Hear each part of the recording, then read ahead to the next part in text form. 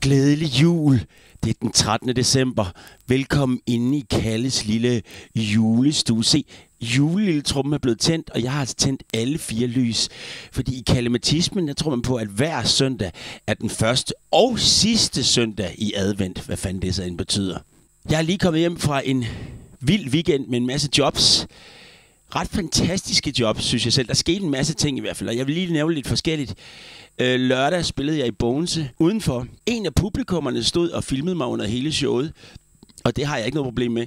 Han lignede lidt min far, samme aldersgruppe og samme udseende, og på et tidspunkt så, øh, så spørger jeg mig, om han ikke har lyst til at lave lyden af kirkeklokker til Det Kimer nu til julefest. Jeg havde tænkt mig at lave den, som ACDC ville have spillet den. Men da jeg siger det til ham, så i stedet for at sige ja eller nej, så tager han bare sig selv i skridtet. Altså en plus 80-årig mand, der tager sig selv i skridtet, mens der står børnefamilie lige ved siden af. Come on, der peakede min lørdag. Om fredagen spillede jeg for MGK-elever og musikskoleelever på Aarhus Musikskole. Og der var der en af øh, MGK-eleverne, der gerne ville høre noget Bob McFerrin. Og så tænkte jeg, at jeg ville sætte ham sammen med hans diametrale modsætning, som selvfølgelig må være ACDC. Og det blev egentlig en meget god mashup, men da jeg kom hjem på hotellet, så tænkte jeg, ACDC er da også en rimelig positiv, for jeg valgte at spille øh, Don't Worry, Be Happy. Og så tænkte jeg, der skal være noget mørke, der ligesom går op al den lykke og happiness. Men, men ACDC er jo egentlig også rimelig glade i hvert fald.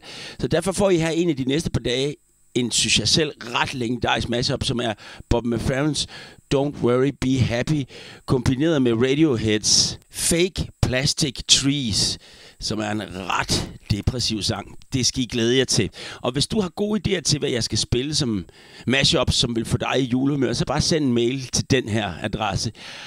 Er du rigtig godt underholdt af den her julekalender, og vil gerne have endnu mere produktion, endnu mere længere afsnit, så søg mig med penge øh, på MobilePay på det her nummer her. I den her uge er der i hvert fald øh, to gigs, der er aflyst. Studenterhuset på lørdag er aflyst, og øh, showet for Hus Forbi på fredag er også aflyst, desværre. Men så får I selvfølgelig bare mere kaldes julestue. Jobbet i Aarhus lørdag aften på Café Smagløs, et super fedt sted, tjek det ud, endte med at blive ret øh, vildt, i hvert fald sådan rent publikumsinteraktionsmæssigt. Der skete mange vilde ting. Øh, der var blandt andet en, der hedder, jeg mener, han hedder Andreas, som var oppe og rappe flere gange på scenen.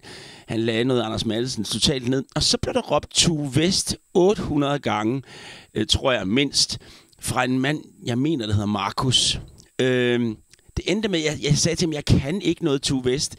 Jeg kan maksimalt huske et eller to år. Så var der en af hans buddies, der rakte hånden op og sang fuldstændig ligesom to Vest. Det bliver jo nok endnu en sang om kærlighed. Så loopede vi det, og så spillede jeg noget Metallica ovenpå, tror jeg nok. Det blev ret skørt. Øh, men Markus ville faktisk gerne høre Tool, der møder Tool Vest. Tool Vest. Men så kom jeg til at tænke på, Tue Vest er ikke den mest kendte dude, og jeg har lavet en Tool mashup før.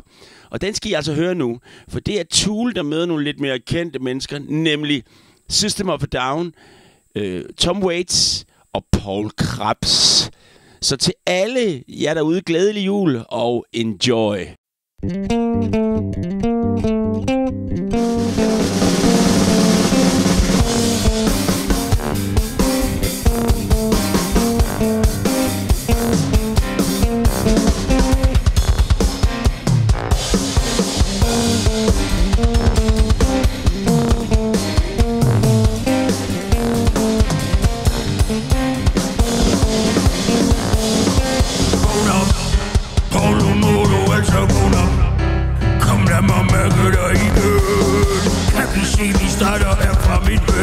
bøl Vi har været